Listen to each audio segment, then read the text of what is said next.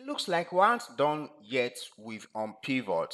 So let's go again to our folder, Power Query Essentials, and here I've got another workbook for number 5 on pivot 3. So when I open up this file, again we are going to see another data set, nothing seems unusual except that I will like to unpivot these columns I have here.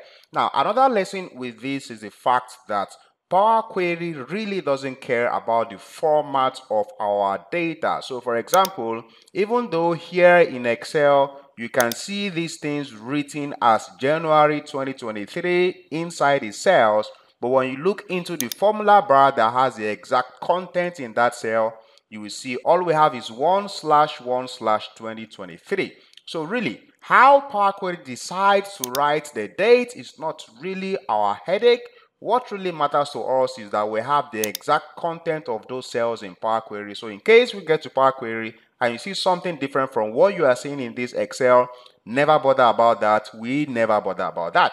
So I'm going to import this into Power Query and we're going to see a completely different behavior again and we'll use that to learn something else about how to really apply on pivot columns correctly.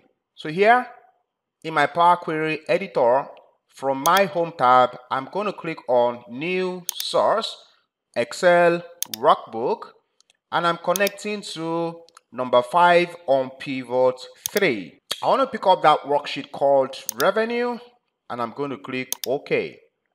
Alright, so if we go straight ahead to apply unpivot the exact way we have been applying it before now, that means I'm just going to select column 1, I'm going to hold control to select column 2, then I can right click and I'm going to apply unpivot other columns. Now if I do this, you have to remember that on pivoting is about columns and it's about column headers. It is the column headers that you have that are going to form part of a new column. So currently now I've got column 3, column 4, column 5 as my column headers. So if I do unpivot other columns now, unpivot other columns, what you are going to see is that in my attributes column, all I have is column 3, 4, 5, and 6. And then in my values column, I have the content of each of those columns. So which goes to mean that whatever columns you will like to unpivot